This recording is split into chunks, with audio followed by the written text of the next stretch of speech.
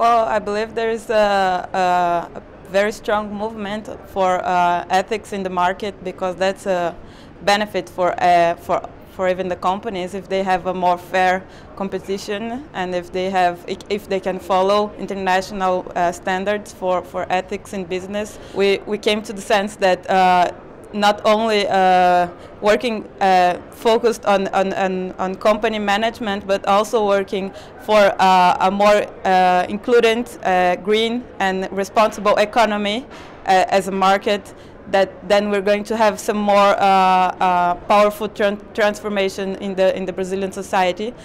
there's going to be a lot of public investment for the, for the World Cup and the Olympic Games in Brazil. And of course, there a lot of companies that are participating in, in, in these, uh, in these uh, investments that are dealing with, with this public money. So we want to guarantee that there's a, a very transparent and integrity uh, relation between public and private sectors for, for the games.